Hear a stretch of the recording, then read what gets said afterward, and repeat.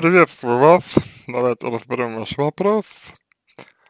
А, у меня умер отец, и я не понимаю, какие я должна испытывать эмоции. А, это травма, эмоции вы можете испытывать самые разные, это абсолютно нормально. В любом случае, потеря близкого родственника, вот, даже если вы не а, общались, это все равно травма, это все, все равно очень серьезное потрясение. Дальше. Э, я не понимаю, какие я должна испытывать эмоции. А откуда требования к себе, я имею в виду, э, э, ну, испытывать какие-то эмоции, почему вы именно должны испытывать какие-то эмоции. Дальше. Вы пишете, мы живем раздельно уже 10 лет. У меня на него была сильная обида, но до 15-16 лет я виделась и общалась с ним, мама заставляла.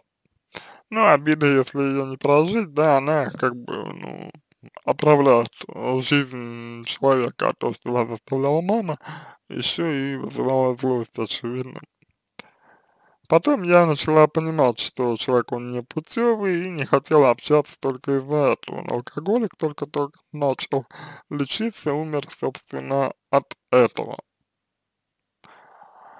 А, ну, вообще-то говоря, это разочарование, я так понимаю, вы про него говорите. Последние года наше общение состояло из случайных встреч на улице и сухого привета его звонков на день рождения и короткого диалога. Ну, то есть какое-то взаимное отдаление. Я не понимаю, что должна чувствовать. Ну, на самом деле, э, сбегая чуть, э, чуть вперед, я бы сказал, что вы что-то очевидно чувствуете, совершенно точно совершенно очевидно, только себе в этом не признаетесь. Первые два дня я проревел, это были очень сильные истерики, потому что только все начало становиться хорошо. Мой брат через него узнавал э, всю информацию, он поддерживал хорошее общение. Ну, то есть, э, на данный момент это выглядит э, как э, то, что вы, э, значит, ну, в папе, вот, по сути дела, э, оставили такую очень ну, большую, очень важную э, часть э, своей личности, скажем так. Вот.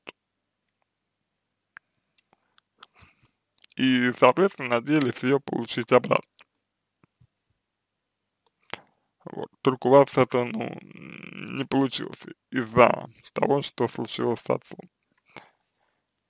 Я хотела начать не выстраивать какие-то более-менее хорошие взаимоотношения, да, а из какого чувства, то есть вы назвали, назва, ну, вы назвали его непутевым человеком, вот, и не хотели с ним общаться, а что, что изменилось потом? Ну, он как будто сбежал от меня. Ну, как бы здесь скорее идет, а, ну, как бы здесь идет э, вот а, перенос на папу, да, здесь идет перенос, перенос а, на отца, значит, ну, как бы вашей реакции. Вот. То есть, э, что это вот вы чувствовали, вероятно, себя виноваты перед ним. У меня злость на себя за то, что опоздал, за то, что эгоистично думаю, сейчас он заставил меня страдать. Да, ну, вообще говоря, отчасти вы правы, отчасти, вот, только есть в этом еще и ваша и ваша ответственность в этом тоже есть. Ну, например, вы позволяли своей маме застав, заставлять себя с, с ним общаться, да? Вот. Ма мама с ним общалась. Вот. Это вот такая история. Дальше, близкие пытаются утешить, но я как с цепи сорвалась, ухожу на улицу, просто брошу одна, не понимаю, что сейчас делать. А зачем и для чего сейчас что-то делать? Почему просто вот не, условно говоря, не отдаться этой боли, которая у вас есть? Это нормально. А послезавтра похороны, я не готова морально, но если не, а, значит, ну, если вы а, так, а послезавтра похороны, я не готова, если не появлюсь, родственники будут меня а, считать не пойми кем. Да, то есть даже здесь вы как-то вот а, опираетесь на, вот, ну, как-то вот на других людей, да, то есть как бы сами вот на себя не опираетесь, на свою как, какую-то, ну, а, позицию, получается. Вот. Вот. Дальше, а, значит, нужно продолжать жить, мысли о суициде не было, тоже хорошо, но сил нет ни на что. Это нормально, потому что сейчас силы уходят на вот переживание этой ситуации. Вот. А дальше, учиться, я стараюсь ходить в университет, мысли воспоминания о детстве, хорошем детстве не дают покоя, они как карусель, помогите, прошу. А что это за мысли? То есть, ну, какие чувства, э, какие чувства они у, вас э, вызывают, ну, какие чувства вызывают эти мысли? Эти мысли у вас. Вот. То есть, ну, что это за мысли? Вот. Ну, натура, ну, натурально. То есть это не просто мысль о детстве, это, вот, это вот какое-то чувство, какое-то состояние. Так, дальше, значит, так, помогите, прошу, спасибо за, за ответ. Эм. Ну, вы знаете, я бы вам а, порекомендовал бы здесь а, примерно следующее. Я бы порекомендовал вам а, значит, быть человеком сейчас, который может вас выслушать, побыть рядом, ну, просто вот ему как бы проговорить, э, визуализировать все, что с вами происходит. Вот. Э, желательно, чтобы это были не родственники ваши, потому что родственники, ну, родственники ваши, очевидно, немножко и на, своей, и на своей волне, с одной стороны, вот, и, и с другой стороны, они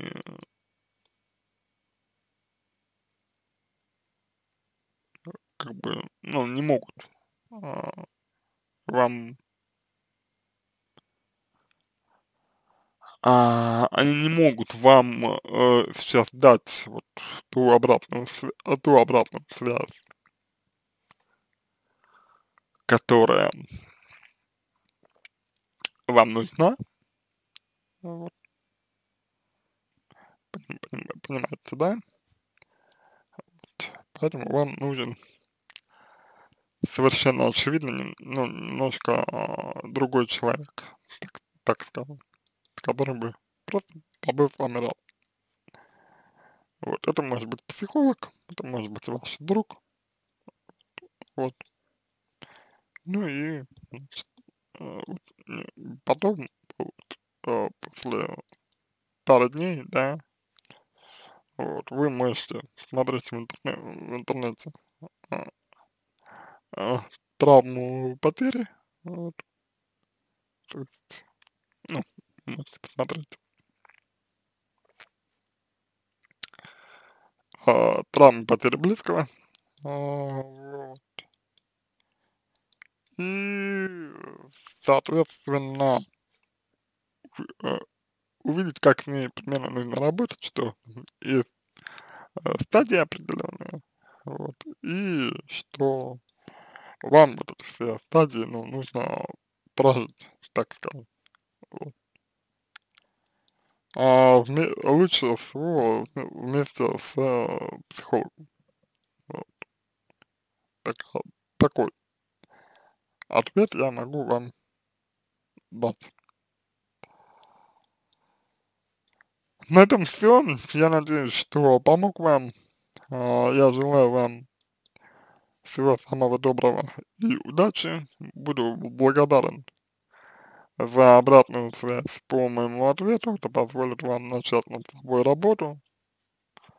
Обращайтесь.